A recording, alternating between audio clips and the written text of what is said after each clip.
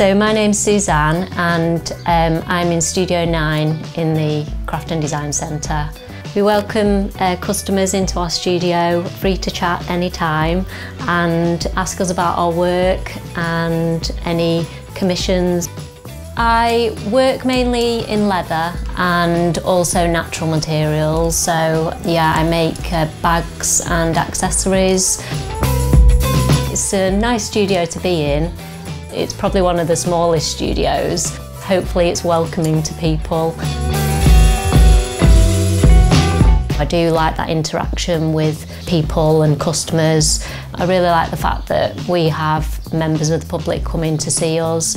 It's much easier than trying to speak to people on the phone if they want something bespoke made.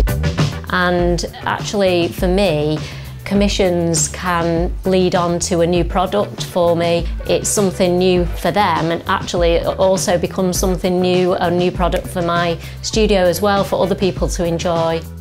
It's nice that we do get chatting to our customers and it's just really nice to also have customers that come back to us that know our work and you know you build relationships with those people as well.